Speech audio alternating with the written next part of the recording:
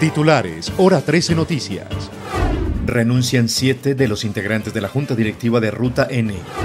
EPM no está en crisis por renuncia de la Junta Directiva, asegura gerente de la empresa.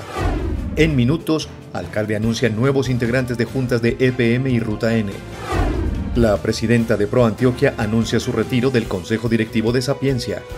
Asegura que lo sucedido en EPM y Ruta N fractura la relación entre los sectores público y privado. Se encuentran los dos frentes de excavación del nuevo túnel de Occidente. Fin de la excavación se anticipa dos meses. Víctimas restituidas en Turbo denuncian fallas estructurales en las viviendas que les entregaron por orden de los jueces.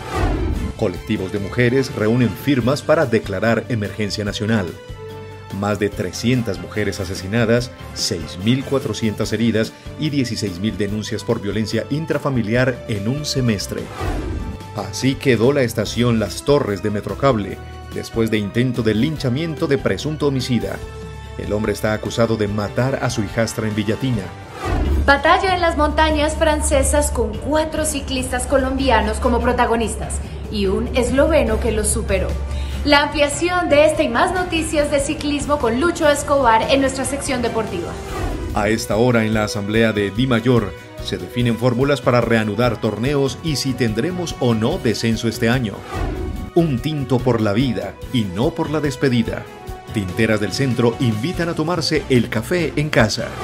4.000 ganadores de chance por más de 2.000 millones de pesos con el número de registro de detenido del expresidente Álvaro Uribe. Y en el postre, los silleteros y las flores de Santa Elena son protagonistas esta semana, ya no en las calles, sino en entidades y centros comerciales.